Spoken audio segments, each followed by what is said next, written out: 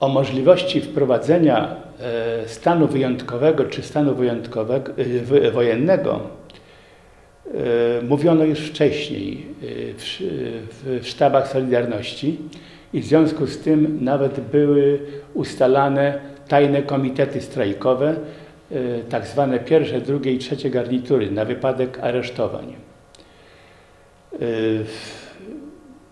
13 grudnia nie byłem internowany, co pozwoliło mi od razu e, opuścić mieszkanie i znaleźć się e, wśród e, działaczy Solidarności w lokalu Solidarności kopalni Dimitrow, gdzie zastanawialiśmy się, czy jest jakiś komitet strajkowy.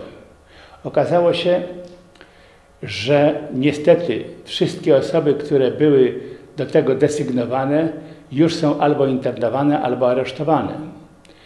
W związku z czym z e, wąską grupą działaczy udaliśmy się e, na plebanie Kościoła Podwyższenia Krzyża Świętego, gdzie e, Proboszczem był y, ojciec Ryszard, Ryszard Śleboda, sympatyk Solidarności. I tam postanowiliśmy zawiązać Międzyzakładowy Komitet Strajkowy. Jeden z pracowników kopalni Rosbark dostarczył nam powielacz, tak zwany białkowy powielacz, którym, na którym wydrukowaliśmy ulotkę wzywającą y, pracowników y, bytomskich do strajku, do przeciwdziałania e, wprowadzenia stanu wojennego. Ta ulotka e, udała, e, została rozkolportowana jeszcze tego samego dnia wieczorem, to znaczy 13 grudnia.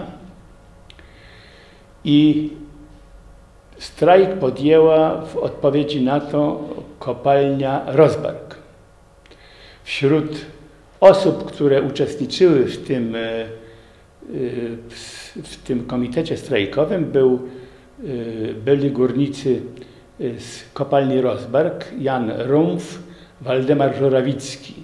Był tam jeszcze Andrzej Steciuk i y, Bogdan Drągowski. I oni podjęli próbę strajku, ale warunki były takie, że wielka siła e, zomowców spowodowała, że kierownicy strajku zdecydowali, że e, oddadzą się w ręce milicji i żeby zażegnać ofiar, e, strajk i uniknąć ofiar krwawych, które groziły w tym czasie no, w innych zakładach, a również w tej kopalni. Myśmy w związku z tym opuścili y, plebanie i pierwszą noc udało nam się y, przenocować w, w pomieszczeniach zakonu sióstr służebniczek. Po czym ta grupa próbowała się jeszcze zorganizować żeby zorganizować jakiś y, ruch oporu, ale niestety to się nie udało, wszystko się rozpadło.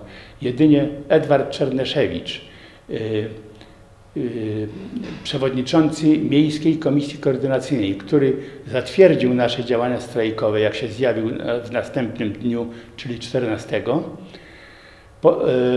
postanowił nam zorganizować tajne pomieszczenie, w, w Bytomiu-Sząbierkach, gdzie e, próbowaliśmy tam zorganizować e, e, materiały informacyjne i ulotki nawołujące społeczeństwo do podjęcia ruchu oporu.